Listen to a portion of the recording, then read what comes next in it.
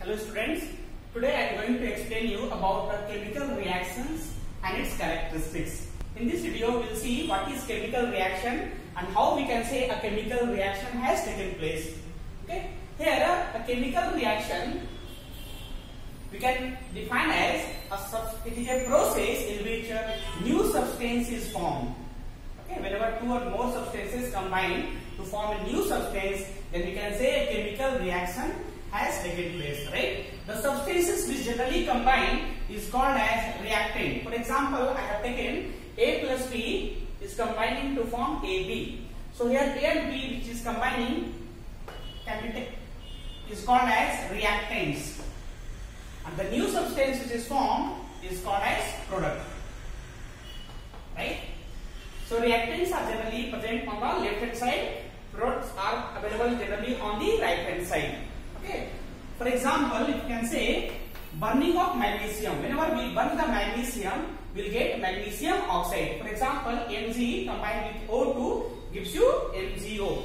Mg stands for magnesium O2 oxygen MgO magnesium oxide. How it is MgO only? Ah, you should know how to write the chemical formula magnesium Mg oxide stands for O. Valency of magnesium is 2. Oxygen is also 2.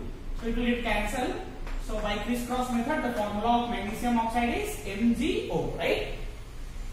So Mg plus O2 gives you MgO. Here we can see that this reaction is a not a balanced reaction. How? Here if you see the number of atoms of magnesium on the left hand side is 1. On the right hand side magnesium is 1. Oxygen is 2. Oxygen here is 1. So it is a the number of atoms on both side is not equal. So it is an unbalanced reaction. Right? We'll see the balancing in the next video. Here I am just going to discuss the four characteristics of a chemical reaction. What are the four characteristics? First one is change in state. Second one change in color. Third one change in temperature. Fourth one evolution of a gas. If any of the following changes takes place, then we can say chemical reaction has taken place. For example, change in state. I have taken the example calcium carbonate which is in solid state. On heating, it gives you calcium oxide CaO plus CO2 which are in liquid and gaseous state respectively. So here you can clearly see there is a change in state from solid to liquid and gas. So this is a chemical reaction, right? Second one is change in color. I have taken the example copper sulfate aqueous solution which is a blue in color. You, when you add iron powder in it, so it will change into blue to green color, right? So we can clearly observe there is a change in color. So we can say chemical reaction has taken place. Third one, change in temperature. For example, if you burn coal, coal is nothing but carbon, burns with oxygen gives you carbon dioxide plus heat. So it is a, then heat is released. So there is a change in temperature during the process. There is a chemical reaction. So the reactions in which heat energy is released is also called as exothermic reaction. You should know exothermic and endothermic reaction. Exothermic reactions is the reactions in which heat is released. Heat energy is released.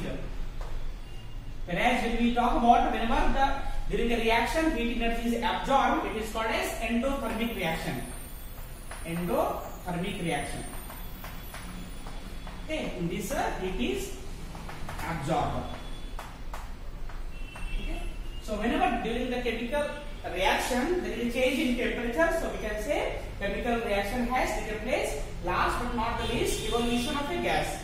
For example, I have taken whenever zinc react with a dilute sulfuric acid, it gives you zinc sulfate plus H2, hydrogen gas is involved, right? So this is also a chemical reaction. By observing any of the changes, you can say a chemical reaction has taken place. Okay? This is all about chemical reaction and its characteristics.